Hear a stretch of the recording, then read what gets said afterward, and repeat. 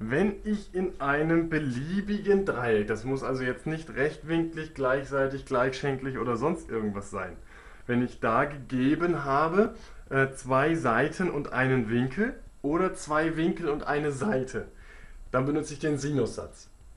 Wann benutze ich aber jetzt den Cosinussatz?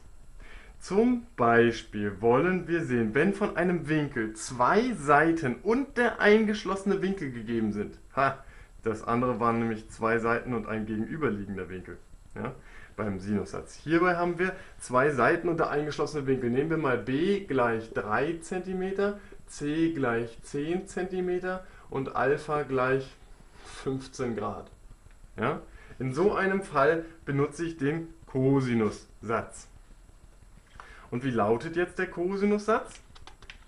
Der hat immer was zu tun mit allen drei äh, Seiten, äh, oder da sind, kommt von allem, allem was drin vor. Ich werde jetzt mal für, für Alpha das Ganze machen. Dann steht da Cosinus Alpha ist gleich b Quadrat plus c Quadrat minus a Quadrat. Ja, hier steht Alpha und zu Alpha gehört ja immer a. Das wird hier hinten abgezogen. Das können wir gleich nochmal sehen. Geteilt durch 2bc.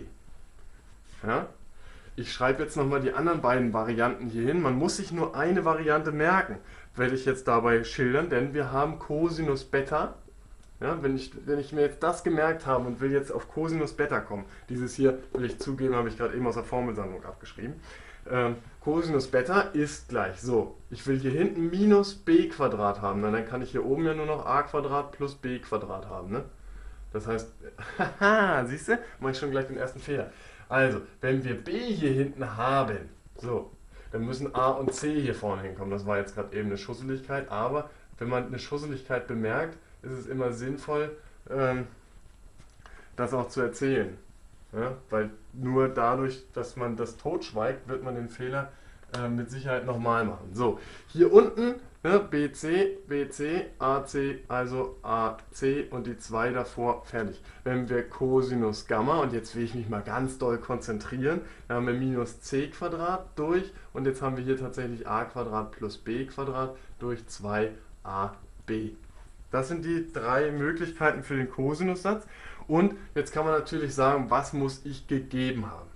Ja, ich kann zum Beispiel B und C und Alpha, A und C und Beta. Ne, dann kann ich nämlich dieses, dieses, dieses, dieses und dieses hier äh, einsetzen und kriege dann hinterher B raus.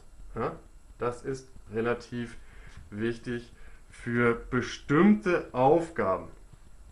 Ja, wenn jetzt jemand mal eine Aufgabe hat, die er mir schicken mag, schreibt das als Kommentar oder als E-Mail und äh, dann mache ich dazu direkt nochmal ein Video.